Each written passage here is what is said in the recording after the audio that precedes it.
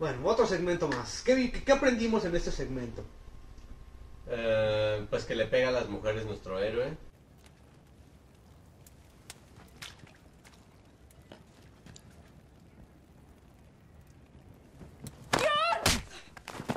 Sí. Em, Así aprendimos también que puede sacar a Santa Claus después de ser atacado por una por un mal efecto de computadora a través de un agujero más o menos de ese tamaño. Give me my blade, woman.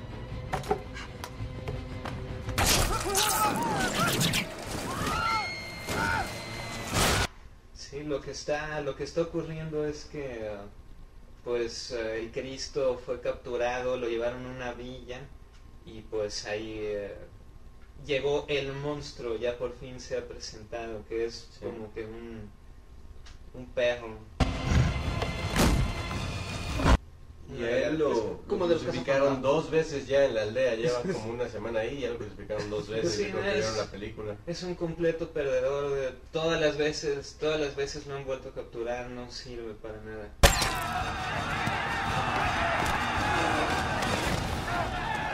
her away!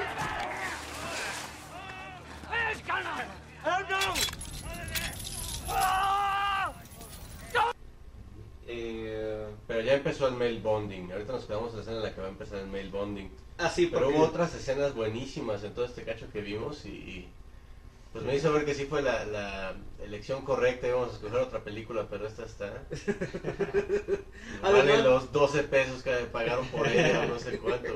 Además, bueno, otra cosa, ¿no? Obviamente, pues es un, es un, un extranjero sospechoso de, de, pos- de posible asesinato o algo por el estilo, pero llega a hablarle al rey y le habla bonito y ya luego le digo, está bien, casarás con nosotros.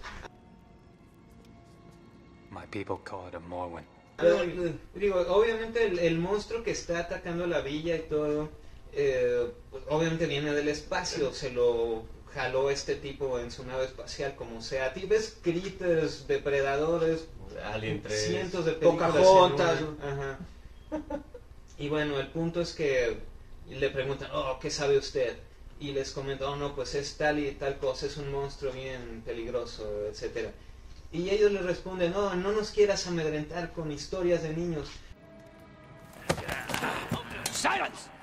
Oye, digo, o sea, no por sonar como un sabiondo o lo que sea, pero oye, los vikingos no le rezaban a Odín y no creían que la luna iba a ser devorada por lobos. eh. O sea, creían en ese tipo de cosas, ¿por qué Ah, habrían de dudarlo? Pues tal vez tiene que ver con el hecho de que tenían un laberinto de pieles en su aldea. para no sé qué efecto, nomás para hacer más dramática la escena. Ajá.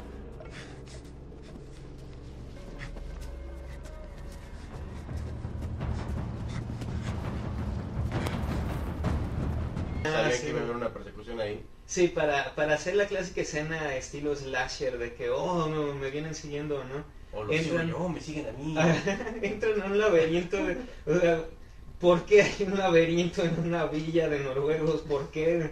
Neta, eso, eso es Luego el, el monstruo mata a como el, el henchman más, más mamado. Pero se ve una luz desde atrás de la piel como si fuera un eh, coche, ¿no? Llegando de noche, alguien estacionándose. Está espantosa, espantosa. Sí, va, va muy mal. Nos hemos divertido mucho. La verdad ha sido de lo menos peor en cuanto a entretenimiento. Bueno, y lo último que sucedió es que se fueron de cacería ya todos juntos. Después de una escena wacky en la cual la chica este, anacrónica golpea al- a, el Cristo en la quijada. Y luego él tiene problemas para subirse a un caballo. Con todo y que se supone que absor- absorbió... La baticomputadora le enseñó todo, pero pues no todo.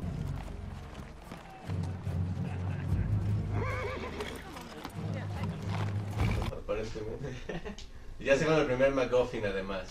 Nunca te pondrás esto. Ah, sí, si claro. tienes lo que se necesita. Sí, sí, sí. Ah, en un fondo, en un obvio fondo de computadora. Sí, Sí, hasta, hasta las nubes están hechas por computadoras. Sí, no, está espantoso. Understand that, then you will never wear this. Toda la producción está horrible. Lo único así más o menos es el diseño del, del monstruo, pero sí es muy como de los Ghostbusters en realidad, ¿no? Recuerdo un poco. Ya veremos más, pero bueno. Ahora que continúa pasando.